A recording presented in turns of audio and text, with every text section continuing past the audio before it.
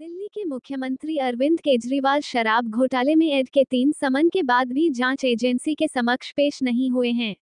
केजरीवाल ने ईडी के समन का जवाब लिखित तौर पर देते हुए इस समन को गैर कानूनी तक बता दिया है। अब दिल्ली सरकार की मंत्री आतिशी मरलेना ने कहा है कि केजरीवाल को अगले दस दिनों में जेल में डाल दिया जाएगा।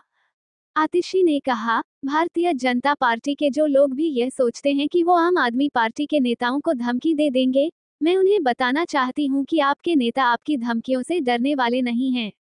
हम भगत सिंह के वंशज हैं, आप हमें चाहे जेल में डाल दो या फांसी पर लटका दो, लेकिन हम दिल्ली के लोगों के लिए काम करते रहेंगे।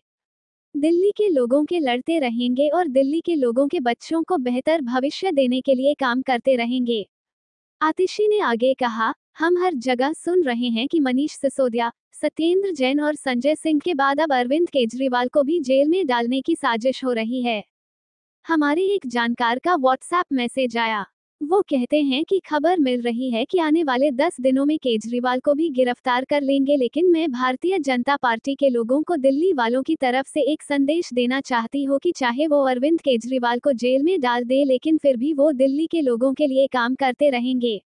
आतिशी ने कहा, आप लोगों ने भी अलग अलग पार्टियों में अलग अलग घोटाले देखे होंगे।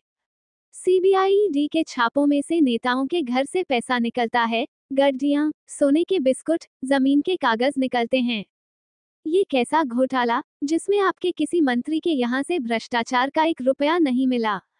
बता दें कि ईडी के तीसरे समन पर अरविंद केजरीवाल के हाजिर नहीं होने के बाद कई तरह के कयास लगाए जा रहे हैं। कहा जा रहा है कि प्रवर्तन निदेशालय अब सीएम अरविंद केजरीवाल को चौथा समन भी जारी कर सकता है।